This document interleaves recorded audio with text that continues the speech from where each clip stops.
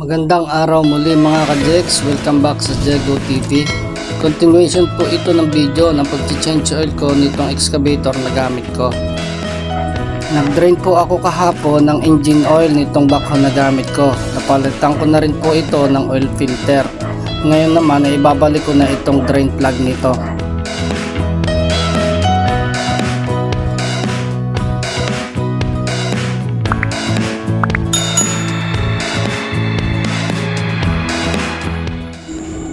Ito naman yung undercarriage cover niya.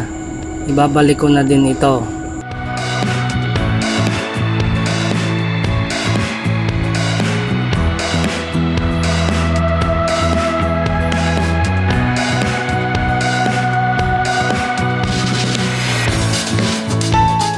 Kukuha ko ngayon ng langis na 15W40 para masalinan ko na yung makina.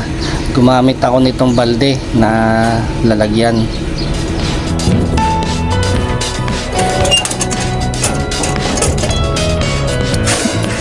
Ito yung lagay ng langis. Ito may takip na ito.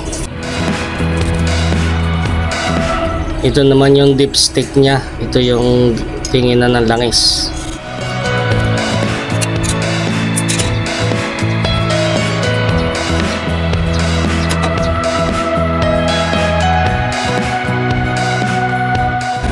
Sasalinan ko na ngayon ng langis itong makina. Kailangan ko ng imbudo or funnel para hindi matapon ng langis sa pagsasalin kasi maliit lang itong butas na salinan. Ito yung ginamit ko dati na imbudo. Kailangan matibay ang pagkakalagay nitong imbudo para hindi matumba pag sinalinan. Hindi pwedeng biglayin ang pagsalin kasi umaapaw ang langis sa imbudo. Mabagal tumustos pababa ang langis sa loob ng makina. I-check ko muna dito sa dipstick kung gano'n nakarami ang langis. Baka mapasobra.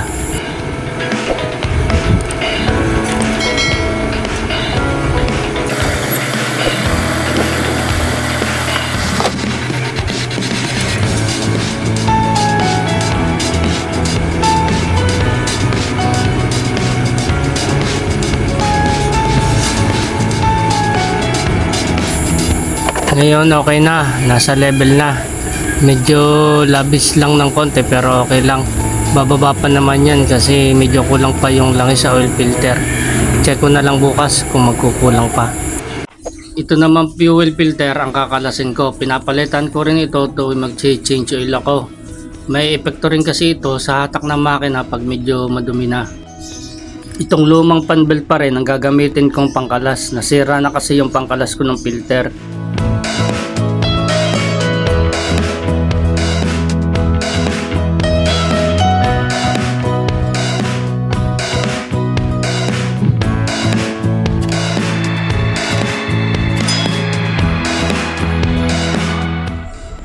Ito yung bagong fuel filter na pampalit FC208A.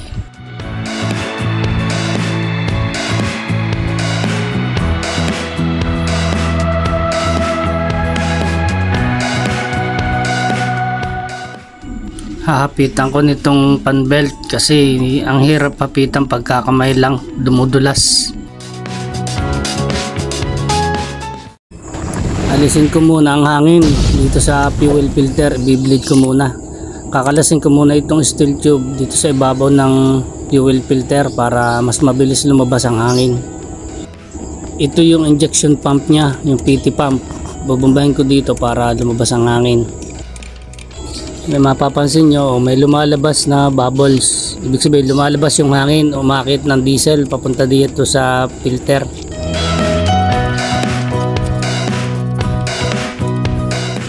Ngayon okay na.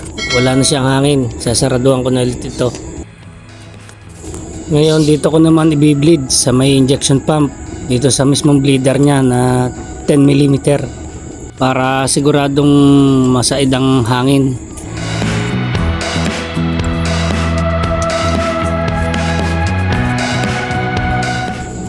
Pagkatapos kong i-bleed dito, i-start ko na kasi kompleto na, may langis na tapos napalitan ko na ng fuel filter, ang oil filter. So tetest ko na para matesting ko may mga tagas ng langis at saka diesel. Ngayon, paandarin ko na para matesting. I-on ko na muna itong battery relay switch niya.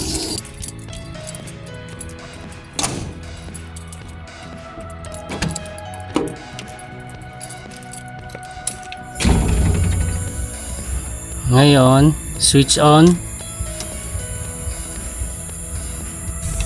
Then start.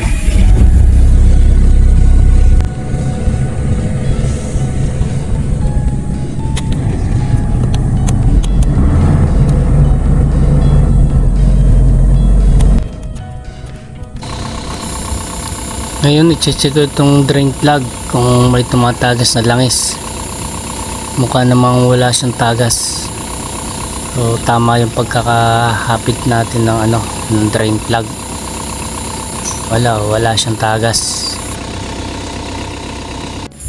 Ito naman yung oil filter na pinalitan ko. Check ko rin kung may natagas na langis.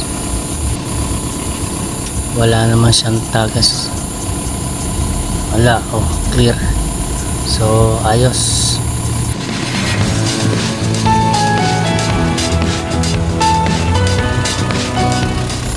ito naman yung fuel filter. Check ko rin kung may natagas na diesel. Oh, wala namang tagas. So na-check ko na lahat. Wala namang tagas. Ang langis at saka ang fuel. Disclaimer lamang po. Hindi po ako mekaniko, operator lamang po ako. Ginagawa ko lang po ito dahil hindi po available ang mekaniko namin. Ang ginawa ko pong procedure ng pag-change oil ay base lamang sa nakita ko sa aming mekaniko. At ito po ang alam kong tama. Kung sakali na sa tingin nyo ay may mali sa aking ginawa, ay pagpasensyahan nyo na po ako dahil yun po ang alam ko na tama.